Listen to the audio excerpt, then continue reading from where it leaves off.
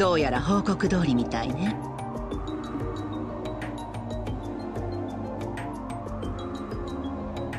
王城の封印区画と連動したデバイスタワーの一角。表と裏を利用した第二結界。教授もよく調べたものね。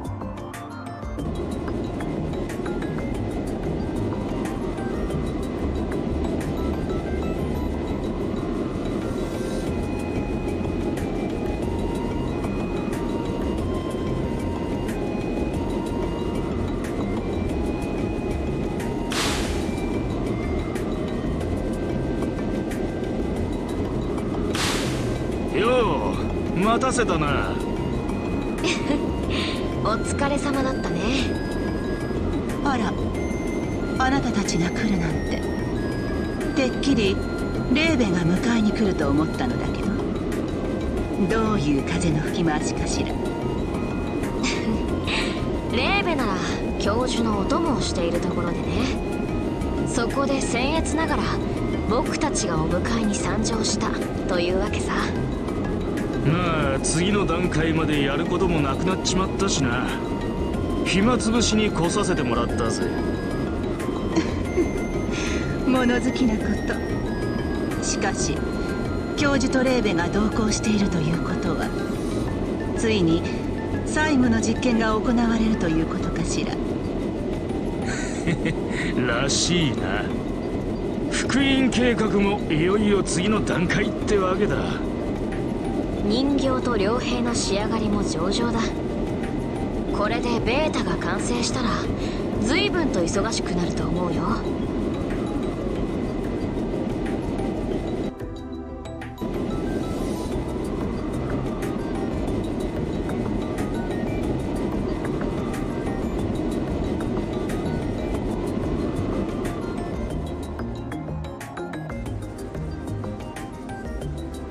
最後の実験というのはあれが相手だったかしら。さすがに教授やレーベでも一筋縄ではいかないでしょうね。そうかもな。なんといっても伝説の存在だ。強さの次元が違うだろうぜ。しかしカンパネルラよ。てめえらしくねえじゃねえか。あらら何がだい？いつものてめえだったら喜んで教授に同行してるはずだ。それをしないってことは他に面白いネタがあるんだろう？とっとと吐いちまいな。やだなバルタ。僕ってそんなに信用ないかな。信用してるさ。てめえのナンバーと同じくらいな。ナンバーゼロ 信用ゼロというわけね。やれやれ。二人ともきついな。まあ見物したいのは山々だけど。あいにく急ぎの仕事があってね。あの方に箱舟の使用許可をいただくつもりなのさ。マジかよ。よりにもよってあんな化け物を投入するとはな赤の箱舟。グロリアス。まさかとは思うけどディベールを焦土と化すつもり？それは教授とレーベ次第だと思うよ。そんなわけでこの後すぐに出かけなくちゃならなくてね。実験の顛末は帰ったらゆっくり聞かせてもらうさ。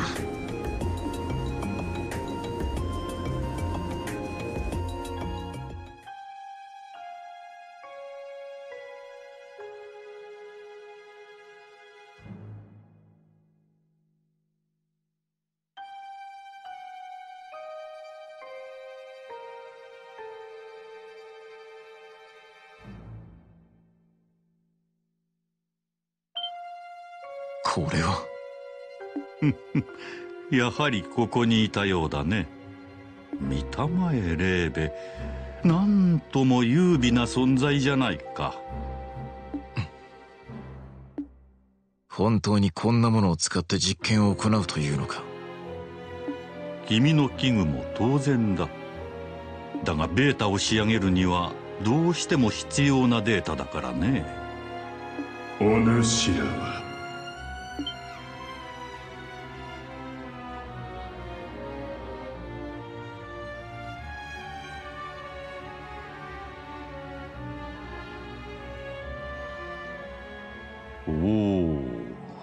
してしまったようだね。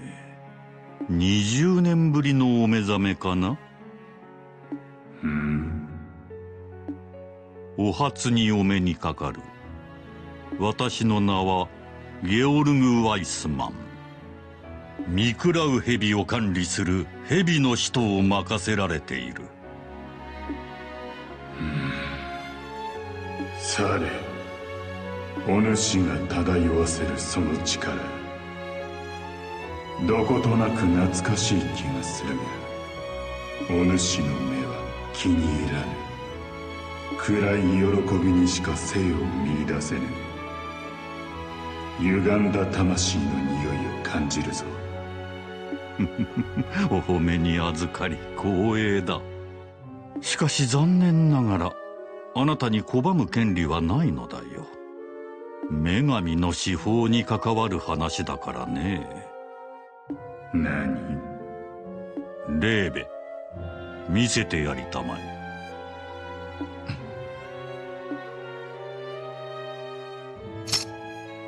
それは？1200年前の記憶がよみがえったかね？レプリカに過ぎないがなかなかよくできているだろうお主らまさか輝く輪を。そのまさかだ。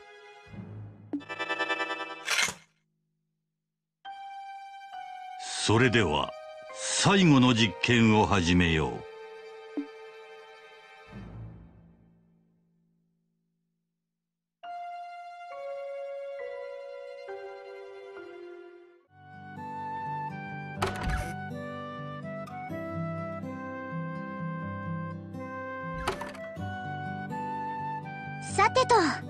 初の予定通りボース地方に向かわなくちゃね。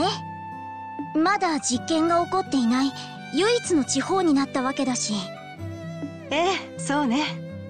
ただ現状でボース地方では妙な事件は起きていないそうよ。ある程度ロレントの仕事を手伝ってから出発してもいいわね。うん分かった。一通り用事を済ませたら発着場に行くとしましょう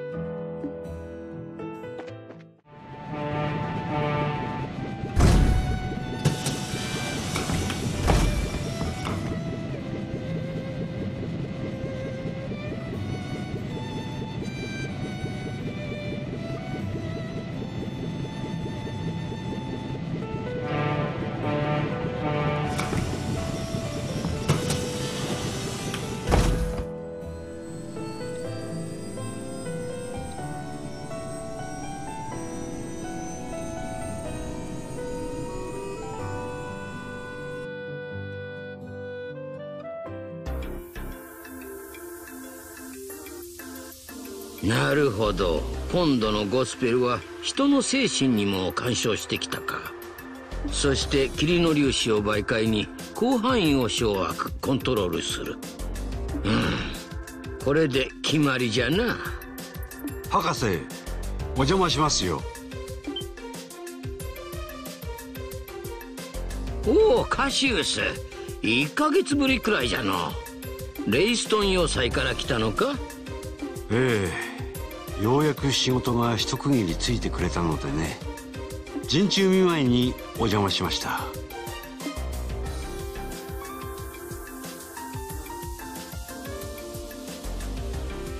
それはお孫さんのレポートですか？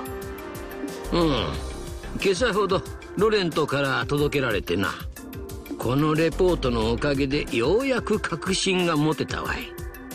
ゴスペルの正体ですか？うん。あくまで仮説だがな。思考実験とカペルを使ったシミュレーションは1,000回以上行った。聞くか？ぜひとも。それでは。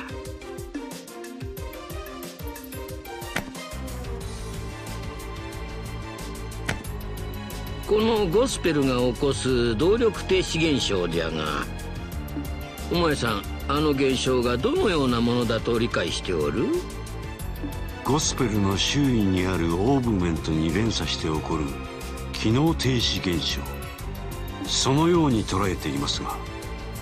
半分正しくて半分間違っておる。お前さんが言った現象はどちらかというと動力魔法のアンチセプトの働きに近い内部の結晶回路をショートさせ一時的にオーブメントを働かせなくしておるわけじゃ。じゃがゴスペルが起こす現象はそれとは根本的に異なっていてな。オーブメント内で生成される動力を根こそぎ奪い取るのじゃ。つまり動力停止ではなく動力吸収ということですか。うん内燃機関で言えばガソリンを抜き取るわけじゃな。うん。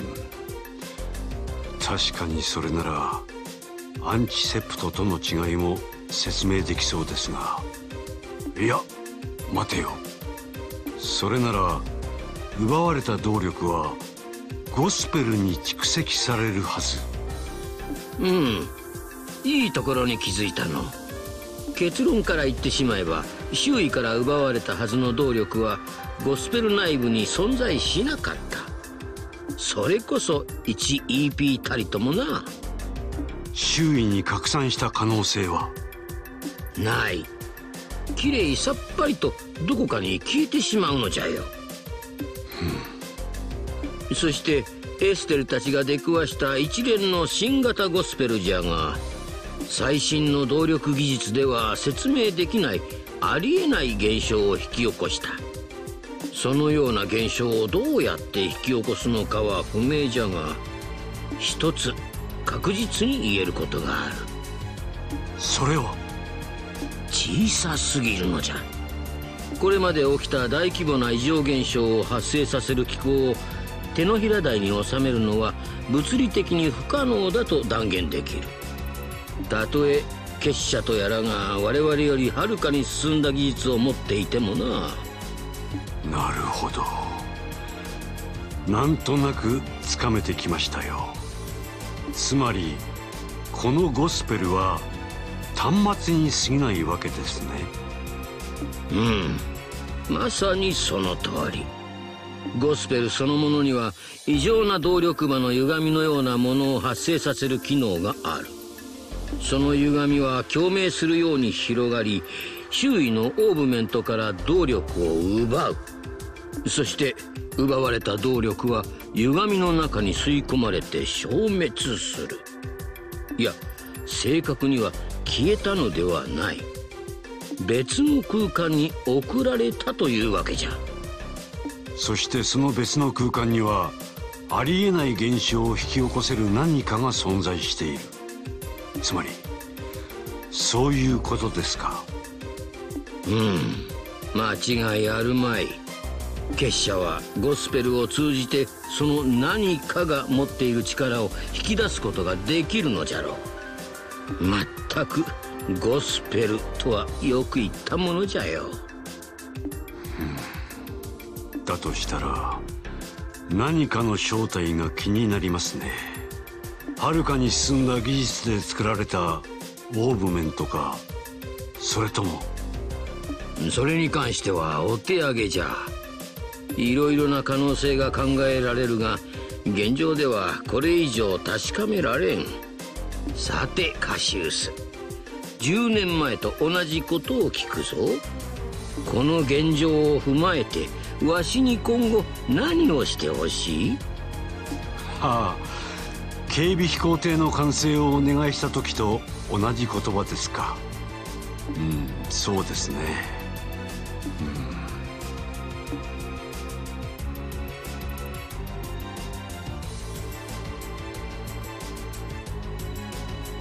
うん。ゴスペルが発生させるという異常な動力場の歪みその共鳴現象を防ぐ手段を開発していただけないでしょうか？そう言うと思ったぞ。今取り掛かっている発明もそろそろ完成する頃合いじゃ。それさえ終わればすぐにでも始められるじゃろう。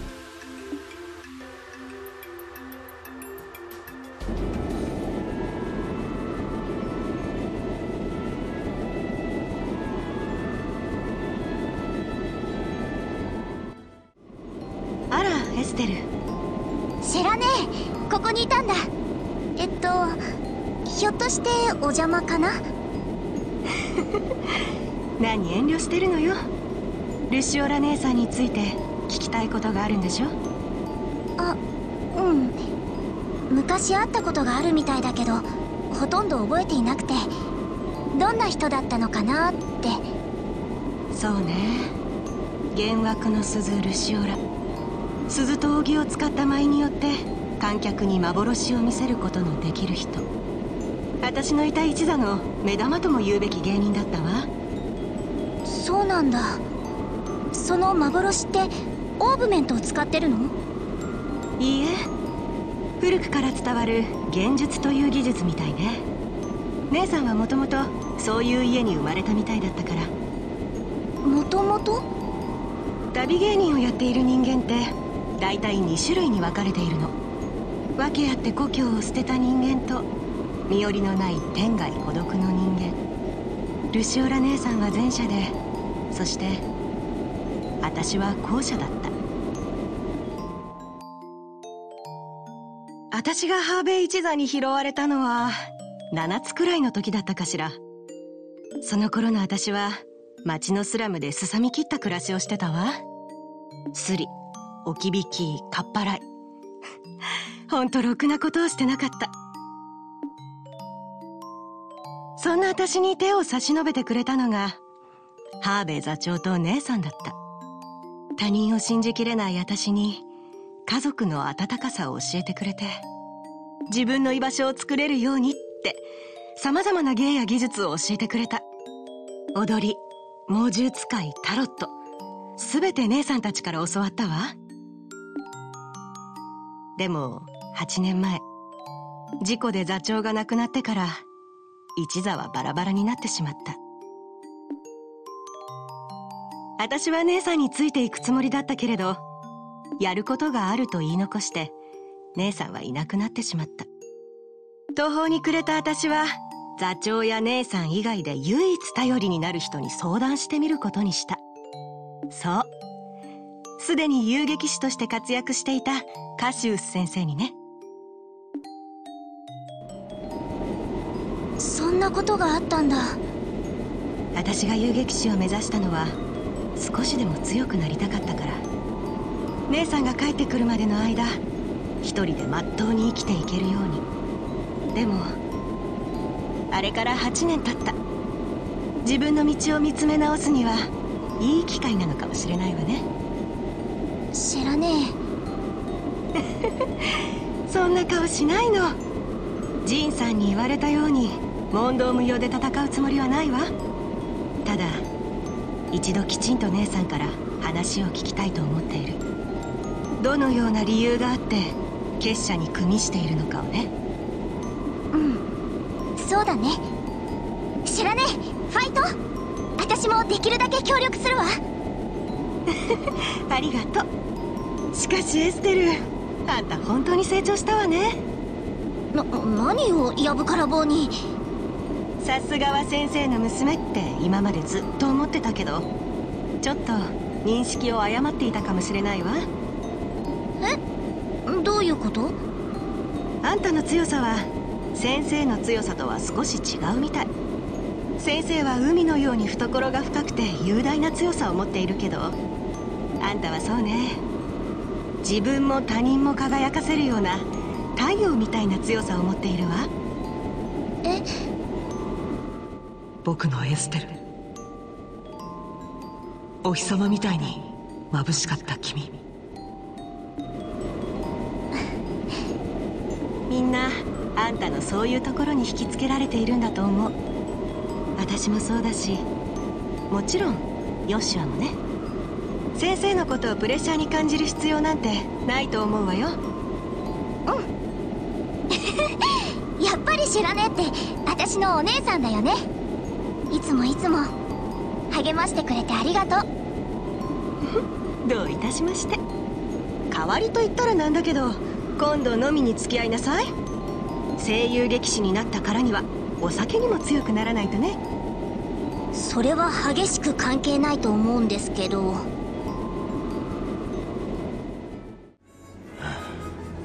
あれ？どうしたの？アガット。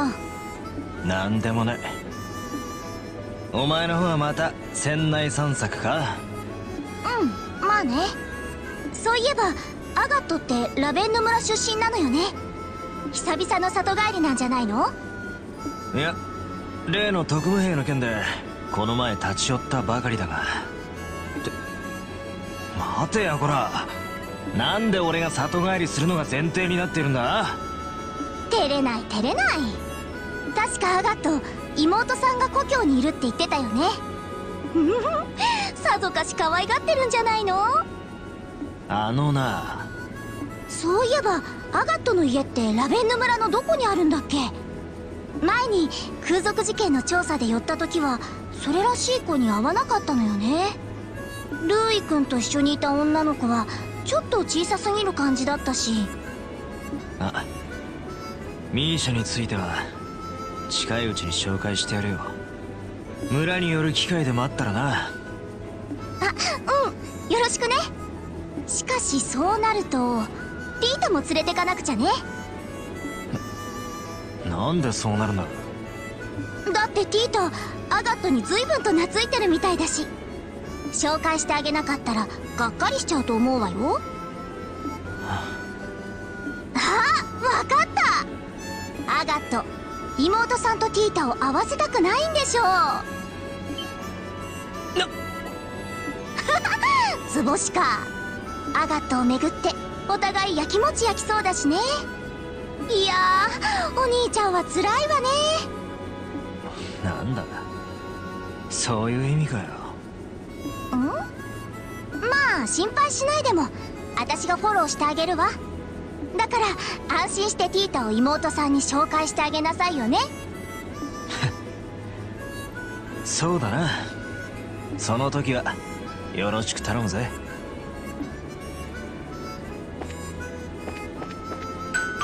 お待たせしました。まもなく本線着陸の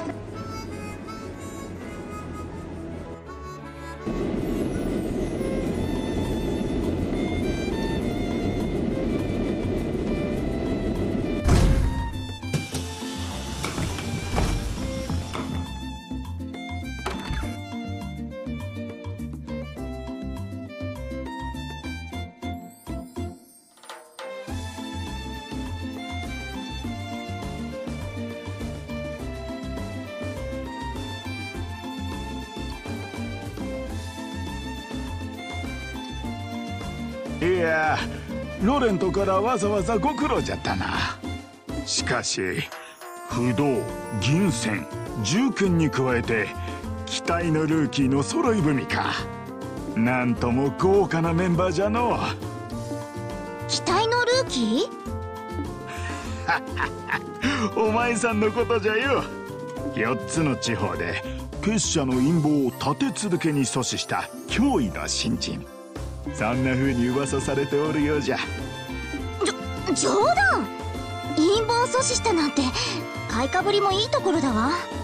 いつも実験が終わってから余裕で逃げられちゃってるし。でもロレントの事件ではいい働きをしてくれたじゃない。胸を張ってもいいと思うわよ。ああれはその偶然が重なったっていうか。照れるなっての要は評判に見合うだけの働きをすりゃいいんだからな。もう簡単に言わないでよ。それはともかくボースでの状況はどうなの？うん。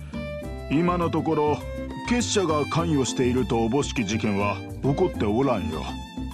例の空賊艇の奪還事件以来軍の警戒も厳しくなっておるしな。あえて言うなら手配魔獣が増えておるくらいか。そうか。ボスって手配魔獣が現れるのが他の地方よりも多い気がするわね。前に来た時もそうだったけど何か原因でもあるのかな？もともとボース地方は広いし険しい地形に囲まれておるからの。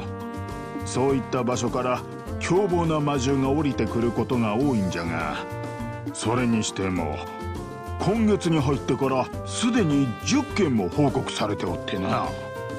それは多いわね。スティングさんあたりが頑張ってくれてるのかしら。うん。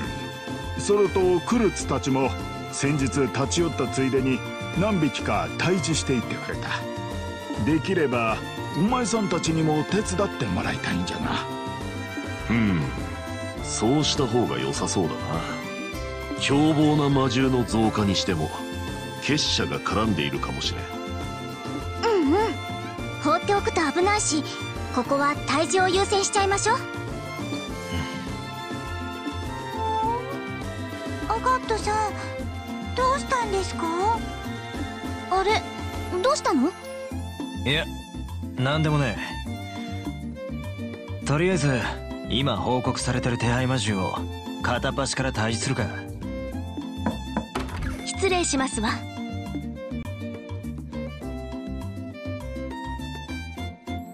メイベル市長それにリラさんじゃない。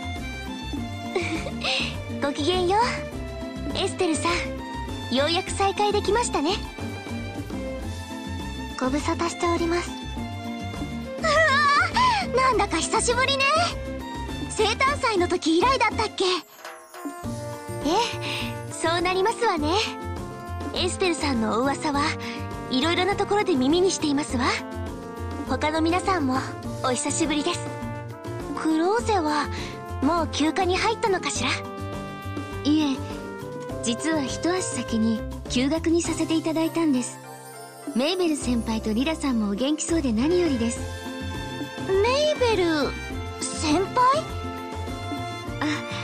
あ王立学園の先輩でいらっしゃるんです 公の場以外では威張らせてもらってるわけですわ。そうなんだ。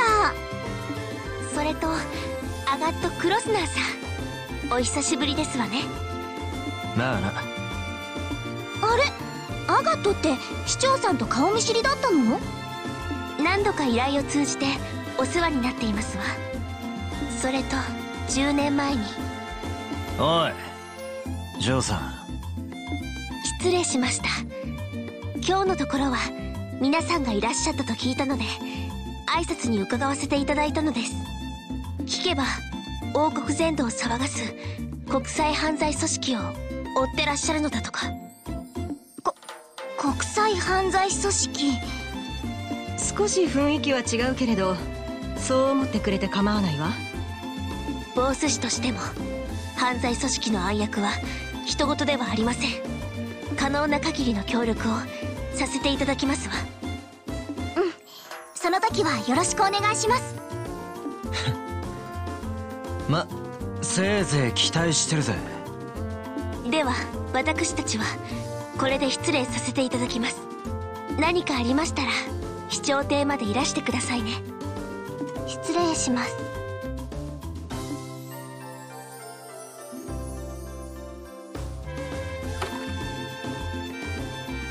やれやれ。アガットお前さんもう少し愛想よくはできんのか？悪いがこれが地でね。サービス業じゃねえんだ。その辺は勘弁してもらうぜ。うーん確かにアガットって誰に対しても横兵だけど。それでも対応そのものは割と丁寧な感じがするのよね。でもさっきの市長さんにはそっけなく感じたんだけど。気のせいだろそれよりもさっさと手配魔獣の退治をしまう。ぞじいさん一通り教えろや。うん。報告されているのは3件じゃ。まずはクローネ峠に出没するブレードファングそして霧降り峡谷に出没するゴーストエピタフ。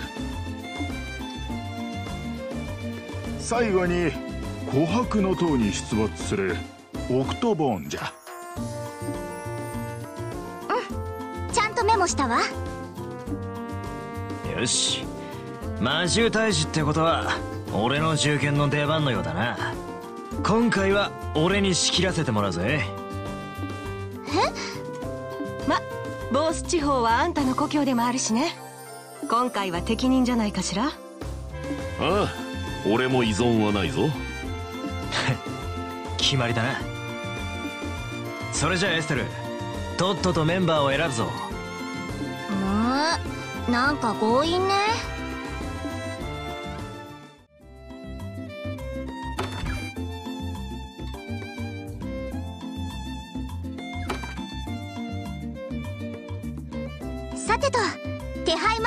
いては各地に行ってみるとしてせっかくだからラベンヌ村にも寄っちゃう？